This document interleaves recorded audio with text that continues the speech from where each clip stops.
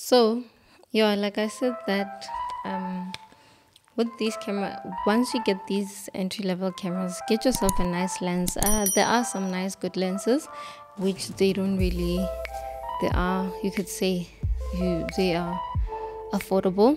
So the first one is the they call it the nifty 50 it's a 50 mil lens. It's a 1.8 there's this one which they call it the pancake lens. It's very small it's a 24 obviously it will give you really really wide um, it's a really really good lens as well. So when you get these get yourself one of these lenses. I'd, I'd advise the 50 mil lens to start with because it's a really good lens. Because the the lens that come with the as much as they are good for beginner but i think you you're gonna get really uh, bored with how the image comes off sometimes. And then get yourself some some nice ND filters. So an ND filter is more like a like a shade sunglass for your lenses. So this is a very small one. I don't know if you can see the difference as I move through. I'll just can you see there's something like that.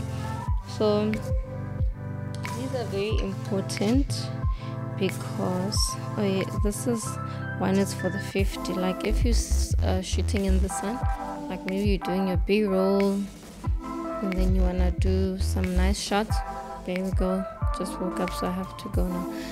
So yeah i hope i've shed some light on these and try and get the lower f-stops when you when it comes to your lenses because the lower the f-stop the better. This is the 50 which i really really love. I haven't used it with the bigger cameras.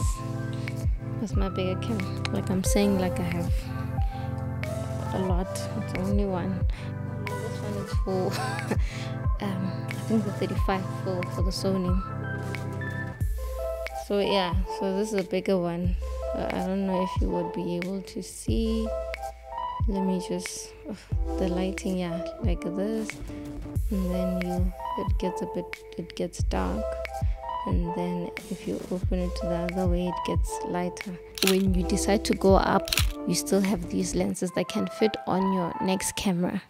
So yeah thank you. Bye two duels let me check girlina what's she saying. Bye thank you